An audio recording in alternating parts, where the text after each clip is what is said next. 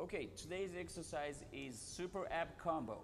V sit-ups, crunches, and bicycle. Now, this is still simple. I have a lot of stuff I can show you, but this super ab combo, you're gonna have to master that, and it's gonna burn your abs crazy, but it works. Unlike any others I showed you, this is really good.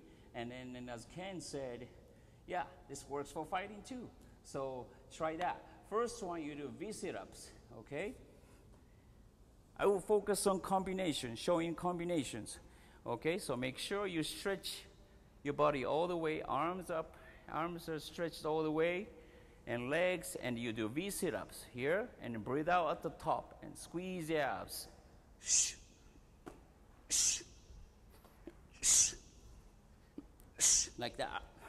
And do 30 reps like that. Make sure your legs are not too high. If your legs are too high, you're not going to be able to bring your upper body up. So, this is a bad example.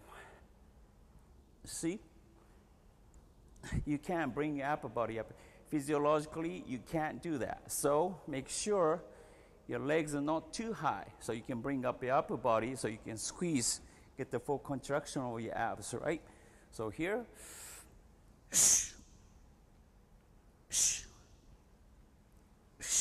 Keep the tension at the bottom. Do 30 times. Now we switch to crunches after you do 30 times of uh, V sit ups. Immediately after that, do crunches straight up.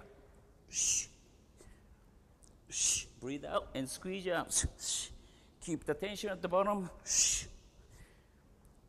Stretch with tension here. Like that.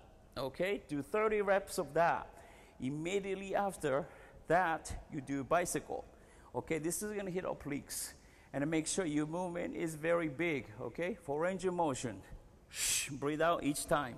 Shh, shh, shh, shh, shh. Touch your knee with your elbows. Shh, shh, shh, shh, shh. Do this 30 times. Now, that's the combo. 30 V sit-ups, 30 crunches, 30 bicycle. 30, 30, 30 and you're gonna feel crazy burn here. And if that's easy, do 30, 30, 30, and 30, 30, 30, and rest. This is a super ab combo you must do to get rid of slight body fat on your abs, and you're gonna be ripped.